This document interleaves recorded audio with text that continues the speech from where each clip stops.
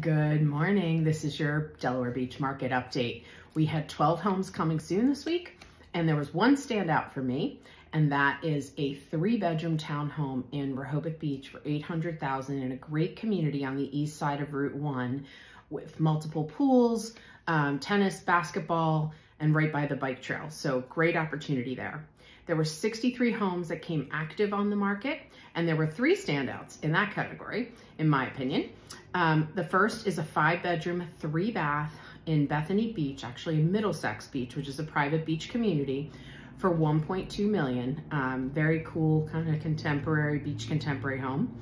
A four bedroom, three bath, nearly new home in a pool community in Lewes for 775 and then a three bedroom, two bath villa with a garage in Rehoboth um, for 535. That also has an elevator. It's a second floor with cathedral ceilings, really pretty.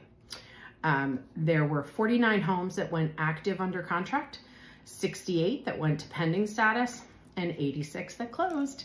If you have questions about the Delaware Beach Market Update, please reach out anytime. I'm more than happy to answer questions or get specific information for you on the area that you're most interested in.